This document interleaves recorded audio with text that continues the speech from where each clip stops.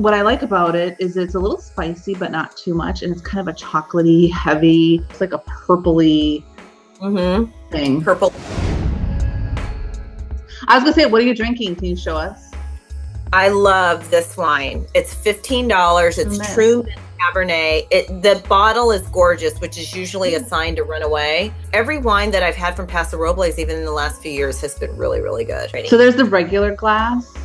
There's Jennifer's Mhm. glass that she's drinking out of. I'm drinking out of the other one. It's like I'm gonna drink wine. I have a I have a visitor. oh.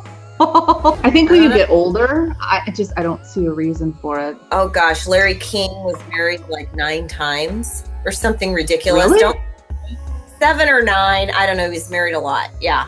Well, I like that. The making of a happy woman. That's that part I missed. So that's good. Where did you see that? It was the subtitle of her book. Oh yeah, yeah.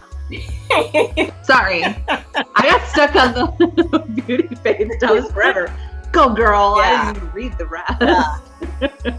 This can be depending because sometimes you can get this for like nine ninety seven a bottle, but usually if you go to the grocery store or something, you're gonna get it for about twelve bucks. But it's still pretty good. It's still uh, Yeah. That, that bottle to me is everyday drinking wine.